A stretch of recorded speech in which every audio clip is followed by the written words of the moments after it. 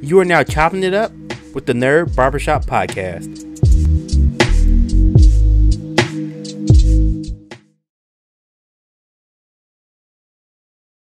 Thank you. Welcome to a brand new episode of the Nerd Barbershop Podcast. I'm Taryn Williams. Thank you so much for clicking on this episode and hanging out with me for a little bit. In this episode, we're going to be talking about Ms. Marvel on Disney Plus. So before I begin, spoiler warning for the entire series. I'll be touching on some stuff that they talked about, um, key moments of the the whole series, key stories, and on all the episodes and things like that. Then also talk about maybe the future of what Ms. Marvel has done for the MCU going forward. Uh, at the time we record this episode, San Diego, San Diego Comic Con is happening, so we're expecting some trailers and news and updates for all the new MCU properties and things like that. Um, what's going to be happening with the Marvels movie, which is going to be the next time we see Kamala Khan as Marvel. Um, X Men '97 next year. Black Panther Wakanda Forever. We're expecting some stuff for, and maybe some other surprises and things like that. So, um, before I get into a lot of the Disney Plus series, let's talk about Kamala Khan. So, Kamala Khan is the first Muslim hero in Marvel Comics. She was during the time where Marvel was doing their, I forget what it was called. It was like Marvel's Initiative or something like that, where they were trying to bring in more diverse characters. Where Kamala Khan came in, Miles Morales came in, Riri, uh, Riri Williams came in. I think America Chavez might have been part of that. And so they were just trying to bring in kind of a wider spectrum of characters for more people, in you know, people, uh, characters of colors and races and creeds and gender and things like that. So she kind of came in during that time, and so she is the first Muslim. Uh, she is the first Muslim hero in MC, uh, in Marvel history, and then also she is an Inhuman in the comics. Now, one of the biggest things that they did change in Disney's uh, Disney Plus show that she is no longer an Inhuman. Um, by the end of the show, Bruno, Kamala's friend, who's actually like the science guy, I'll talk about Bruno a little bit, but he actually was doing like experiments on Kamala, seeing like how her powers work and things like that. In the beginning the episode, running some tests. By the end of the episode, he said he had some more. He did some more research. He looked more into it, and Kamala had a mutation in her genes. If you watch the show, they do the little sting from the uh, X Men animated cartoon. They did a na na na and so it's really really cool that they actually kind of confirmed she is going to be a mutant. So not only is she a mutant, she's the first confirmed mutant in the MCU, which is a pretty big thing going forward. Now to go into the show. The show is a coming of age story of Kamala. She's a junior in high school, so she's about 17 years old, going through like uh, all the high school stuff and things like that. You know, trying to. I mean, she's kind of awkward, kind of nerdy. You know, she has her friends she's close to and things like that. She has her parents, and she has to grow up being, you know, a Muslim American. You know, her family's from Pakistan she lives in Jersey City, you know, just trying to put it all together. And she's a huge Captain Marvel fan. It's like in the comics. Uh, Kamala gets this bangle from her. She gets this box from her her nanny, which is her grandmother. Has all these trinkets and things like that. And she finds this bangle. And she asks her mom about it. Her mom's like, "No, don't worry about that. Hide in the attic." Kamala's like, "No, I want this bangle." She's actually going out to Avengers Con, which is like uh, New Jersey's uh, version of Comic Con fitting. I'm actually recording this during San Diego Comic Con weekend. And she puts, she grabs the bangle. She's going to use it as a part of her Captain Marvel costume that she cosplays as, or for this uh, Captain Marvel competition. She gets the bangle. She ends up putting it on, and she's transformed to this. Like she goes to this other realm, and it's purple and stuff. And then she comes back out of it. She's trying to figure out like what's happening. Um, another person at the convention who was actually Zoe, her classmate, ends up uh I forget like some stuff happens and she ends up catching Zoe using these powers. Now in the comics, Kamala she does what's called embiggen, where she you know makes her she just gets taller. She makes her arms kind of stretchy, her legs gets kind of bigger. Her legs get bigger, her arms get bigger, and she can kind of very similar to Mister Fantastic. Just so you have a point of reference. But in the show, she has this light power, where it's very similar to Green Lantern, where instead of her really getting bigger, she creates these light constructs and her arm kind of could stretch out and caught Zoe. It wasn't really her actual arm, it was kind of her arm infused with this light, you know, with kind of this light glow, this light power around it. And yeah, so that's how she kisses Zoe. So the more, so the purpose of the show is kind of her learning about her powers, learning how to use them, getting better at them, and things like that. Because in the comics, she just has embiggen. That's all she does and in the MCU they gave her this kind of this power upgrade. And some people were complaining about it. to be completely honest, I was too because I was like, I was like, uh, I wasn't sure how I was feeling about uh, the powers. You know, I wasn't sure how I felt about her having these, these kind of these light powers, where she does these light constructs and things like that. I forget what uh, Bruno calls it. He calls it something, heart light. That's what he calls it. So like these heart light abilities. But I, but also, but at the end of the series, I realized what this is gonna do now is one, it makes her like it gives her visual presence on screen Two, it gives her a really massive power upgrade because I'm pretty sure in the Marvels, her, uh, Carol Danvers, and Monica Rambeau, they're gonna get there, there's gonna be some shit happening, and she's gonna need to kind of have more abilities than what she normally equipped with. Also, it gives her way more flexibility because one thing she learns, one of the first things she learns is she creates these lily pads for traversal.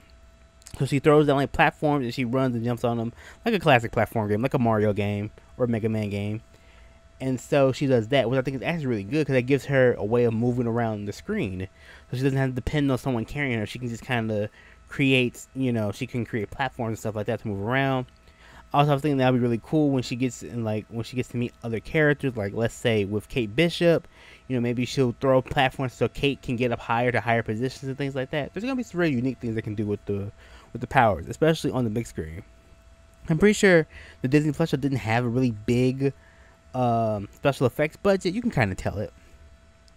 But you really learn about Kamala's past, and they really connected her powers to kind of the past, to her family, her origins. You find out that she's actually a, she's actually um, a celestial, a celestial or not celestial, a clandestine, not celestial, clandestine. Clandestines were like these really big, super deep, undercut uh, beings from the X Men comics, which was really cool. Nice little X Men parallel to what we get later on in the series but also they call them um, jinns, and jinns are in like uh, Indian and kind of like Pakistani and that uh, Middle Eastern mythology. They're kind of like spirits. They could be demons. They could be good. They can be bad. So they call them, you know, they're called jinns, and they're from the Noor dimension. And Noor means light in Hindu or Urdu, I believe. And so it was really cool. So you find out, so Kamala's like, oh, she's part clandestine, part jinn. It's kind of weird, but whatever and you find out then you have a story about her grandmother and during the partition which was this really horrific like moment in kind of middle eastern history where families was like where they were creating like pakistan and india and just families were separated and you know just it was really it was really it was really crazy. And they actually do a version of that on the shows. You get to see like just what was happening thousands and thousands of people just trying to get on trains and pack up what they can and go and you know just try and figure it out so it's really, really interesting. Also, there's um, connections to Shang-Chi and the Ten Rings because you do a flashback. Um, Kamala's great grandmother Aisha and the clandestines that she were with, they actually find the bangle that Kamala has in a temple that, that looks like it has, it has a Ten Rings logo, which is really really cool. So the Ten Rings like organization was active during this time, and it was on some type of blue arm. So everybody was assuming we're assuming that it's a Kree. So you have like Creed, you have the Ten Rings, you have clandestine, you have like the Noor Dimension. Like it's a lot of stuff, and I feel like, and one thing I said about Miss Marvel was I feel like at first it was like okay, it'll be just kind of her coming of age story, but it has more connections than I think anyone has than like anyone thought about and I really enjoyed the show as a whole because again I thought because we, we haven't really got like a young heroes coming of age story we haven't really had that yet you know? So it's nice to kind of see him 17 dealing with this trying to figure it out. And yeah they feel kind of rushed. You only get six episodes. I really wish Disney Plus shows had eight episodes at least. I think that would help so much of the pacing and the story and really get kind of ideas a little bit more fleshed out. Because sometimes you feel like we get to A to B to, to C and all of a sudden we're in G really really quickly it'd be nice if there were eight episodes. I don't know if that's the budgeting. I don't know if Kevin Feige and everybody they can like budget for two more episodes. Because six episodes feels really really short and feels really really tight. Well, I think eight episodes would be perfect for Disney Plus shows. But Kamala also she ends up getting her comic book outfit because by right before the season finale, you know, her mom and her grandma actually sees Kamala using her powers. Kamala kind of explains it the best she can and Kamala has all of these pieces that she's gotten throughout the show, where Bruno gave uh, gave her a mask, um, one of the red daggers, or actually the red red dagger. I forget his name. Uh, Com not Kamran, Kamal. I forget his name, but one of the red dagger, he gives her he gives her his red scarf. Waleed, who's kind of leading the Red Daggers organization as a whole, give her this gave her this blue fabric, which is really really nice. And then um, Kamala's necklace breaks and it creates kind of like a thunderbolt. And so her mom used that as inspiration for the piece down the middle. Yeah, it gets kind of it gets kind of put together, kind of, you know, kind of like okay, we need to like wrap this up, put it together.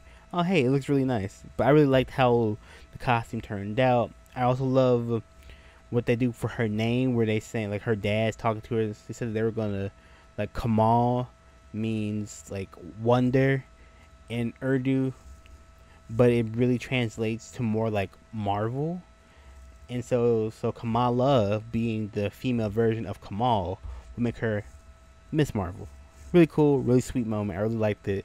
So really kind of cool to connect all these things to Kamala, to family, to tradition, to her like to her heritage, and just making her really feel like you know her character is grounded some stuff. Now to like the biggest like the biggest point of the show, which of course was the end credits was towards the end of the show where Bruno saying that Kamala had a mutation, and also the post credit scene where the bangle lights up and Kamala just kind of transports somewhere, and then her and Carol Danvers, Miss uh, Miss Marvel, Carol Danvers, uh, Captain Marvel switch faces. Carol kind of looks around like, oh shit, and she just runs off the screen. So hopefully when the Ms. Marvel when the when the Marvels movie comes out, maybe we start the movie with where Kamala ends up, and then we kind of backtrack a little bit because I think that's a really that'd be really fun point. Because I know a lot of people weren't gonna watch uh, Miss Marvel. Like, oh, I don't want to see this. It's not interesting. Blah blah blah. And I think Miss Marvel really just tied so much stuff together, and that's like a bigger piece of the MCU. Whereas I think now it's probably one of the bigger movies, like the bigger pieces of Phase Four. So I really enjoyed I really enjoyed Miss Marvel. I want to see more of her. Uh, Iman Vellani, who plays Kamala Khan, is amazing in that role. She just fits it just like how Robert Downey Jr. is Tony Stark Iron Man. Iman Vellani is Kamala Khan Miss Marvel. Like she is. She nails it. You like just watching her do interviews and talk about it. She's just a big fan, and I love. I appreciate that. I think getting fans to play these characters is like the best way to do it because you get all the love, the passion. They'll, they'll put all like it's not even about the money. It's about portraying the character to the best way possible to kind of honor all the materials and stuff that came before it. It's really really dope. So now for the MCU going forward, now we're starting to get like uh, a lot of people say, well, what is Phase Four setting up? Well, Phase Four is really setting up, of course, Kang the Conqueror, which we've seen, who makes his official appearance in uh, Ant Man and Wasp Quantumania, but um, Kang the Conqueror or Kang variant was, of course, He Who Remains at the end of Loki, so we get that. The Young Avengers, because now we have Kate Bishop, you have uh, Kamala Khan, uh, Cassie Lang is gonna be in. Cassie Lang is gonna be in um, Ant Man and Wasp Quantumania, so that's three younger heroes. I'm pretty sure Spider Man is gonna lead that group because he'll probably be, you know, he's older, but he's still relatively young, so he'll probably lead the Young Avengers group, and they're kind of building towards that. So yeah, I, I really enjoyed Ms. Marvel. All six episodes are up on Disney Plus. Go check it out. And I think if you can watch all six episodes in a row, I think it's a really good story. It's really fun. Like yeah, there's moments you can tell they cut stuff here and there, and some things feel rushed, and some things, you know, don't necessarily line up completely. But I also feel like it's a really good heartfelt story about family. It's one of the reasons like we read a lot of comics was just that connection to you know the family and being different and powers and just seeing this person gets powers and how their world completely changes.